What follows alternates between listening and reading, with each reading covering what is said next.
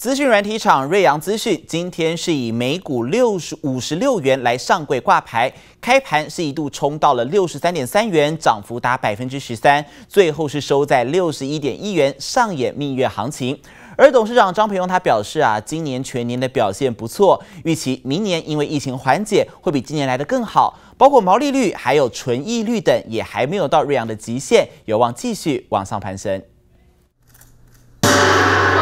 随着铜锣声一响起，成立超过三十年的资讯软体厂瑞阳资讯以每股五十六元，在十号正式上柜挂牌，开盘一度冲到六十三点六元，涨幅达百分之十三，展现蜜月行情。而靠着数位软体、自然资讯治理、运维服务以及云端与巨量资料服务等四大产品线，在后疫情时代下，瑞阳也迎来企业数位转型的商机。说要居家上班嘛，哈。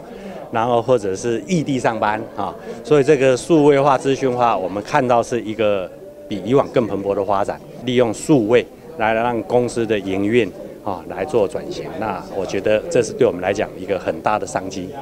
摊开财报数字来看，瑞阳在近三年来毛利率、盈利率以及纯益率都节节攀升，其中纯益率更是从二零一七年的百分之三点八五一路上升至今年上半年的百分之九点一七，成长幅度惊人。因此，顺着数位转型的趋势，展望未来，董事长张培庸更看好，随着疫情趋缓，明年毛利有望再攀升。今年上半年我们的状况是比去年的上半年都要好。纵观全年，我们应该不会差啊，循着这个趋势，应该是会还不错啊。那至于明年，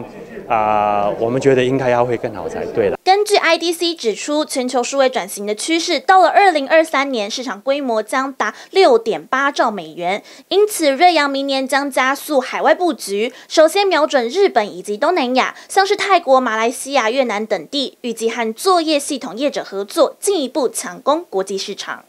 记者林威信、林家宏台北采访报道。